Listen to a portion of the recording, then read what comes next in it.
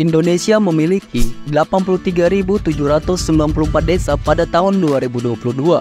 Kementerian Pariwisata dan Ekonomi Kreatif telah menginisiasi pengembangan desa wisata berdasarkan konsep pariwisata berkelanjutan atau sustainable tourism.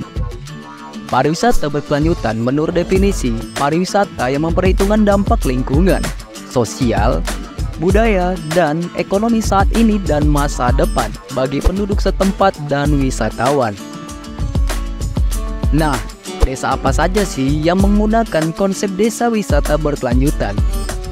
Sebelum melanjutkan jangan lupa mengklik tombol subscribe-nya ya.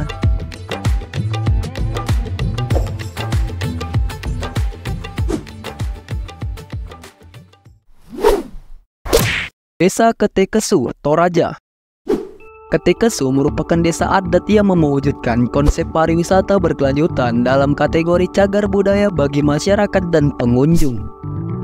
Atraksi paling terkenal di desa Ketekesu adalah upacara adat dan makam di puncak tebing yang diperkirakan berusia 500 tahun.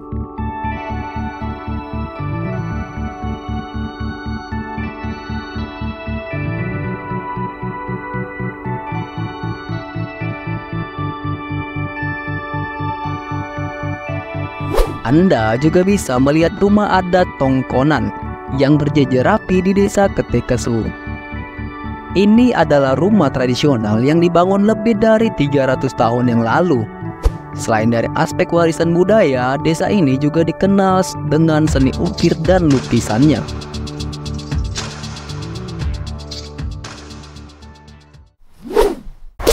Desa Pujon Kidul, Malang Desa wisata ini terletak di Kecamatan Pujon, sekitar 30 km dari pusat kota Malang. Letaknya di dataran tinggi sehingga lingkungannya sejuk dan asri. Desa Pujon Kidul mengedepankan pelestarian alam sebagai konsep pariwisata berkelanjutan yang ditawarkan kepada wisatawan, khususnya yang bergerak di sektor pertanian dan peternakan. Desa Pujon Kidul memiliki banyak kegiatan seperti menanam sayuran, memanen sayuran, dan memerah susu sapi.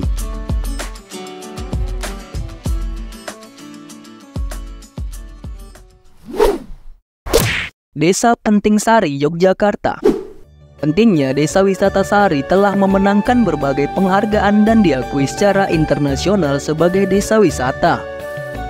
Menarik juga bahwa Desa Penting Sari masuk dalam 100 destinasi wisata paling berkelanjutan menurut Global Green Destination Days.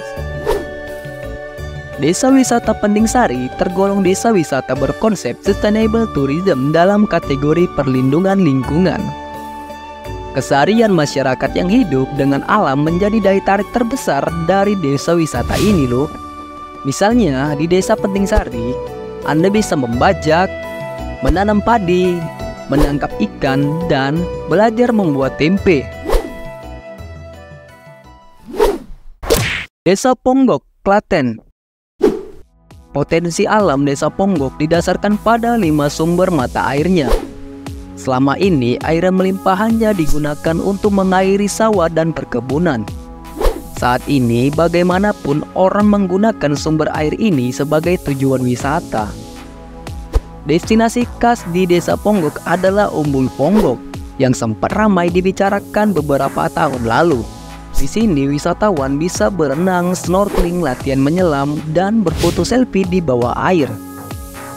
Selain Umbul Ponggok, empat mata air juga patut dikunjungi, seperti Umbul Beseki, Umbul Sigedang, Umbul Kapilaler, dan Umbul Cukru. Menariknya, dengan memanfaatkan potensi alamnya, Desa Ponggok menjadi salah satu desa terkaya di Indonesia loh dengan pendapatan desa per tahun mencapai 14 miliar.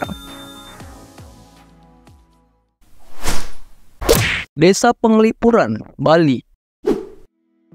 Desa Penglipuran masuk dalam 100 destinasi wisata paling berkelanjutan versi Global Green Destination Day bersama Desa Penting Sari Bahkan, desa ini dinobatkan sebagai desa terbersih di dunia. Kesadaran desa penglipuran akan perlindungan lingkungan. Penglipuran sendiri lahir dari aturan umum desa. Salah satu peraturan yang menarik adalah larangan penggunaan kendaraan listrik di dalam batas desa. Tujuannya agar udara di desa Penglipuran tetap bersih dan menjaga lingkungan. Selain itu, aturan bersama juga mengatur tata ruang desa Penglipuran. Konsep tiga mandala Penataan ruang yang umum ini membuat desa Penglipuran tampak lebih tertata dan tertata rapi.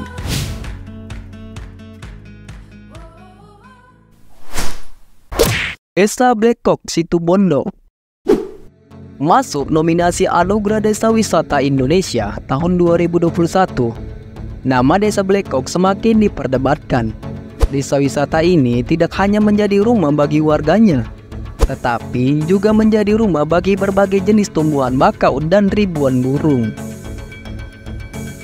Untuk melindungi burung blekok yang hampir punah, penduduk setempat mendirikan penangkaran burung di desa wisata ini. Wisatawan yang berkunjung ke desa tersebut dapat mengikuti kegiatan penangkaran, memberikan makanan burung, dan merawat burung yang sedang sakit. Desa Ombularjo, Yogyakarta. Dalam pengembangan desa wisata, peran generasi muda yang kreatif menjadi salah satu kunci keberhasilan. Hal ini terbukti di Desa Umbul Harjo di Yogyakarta. Ide kreatif lahir dari keresahan Karang Taruna Desa atas sistem irigasi yang terlihat bobrok. Inovasi ini untuk mengubah irigasi desa menjadi budidaya ikan nila Budidaya ikan nila di saluran irigasi tidak hanya membantu ketahanan pangan, tetapi juga menjadi daya tarik wisata di desa Umbul Harjo yang viral di sosial media.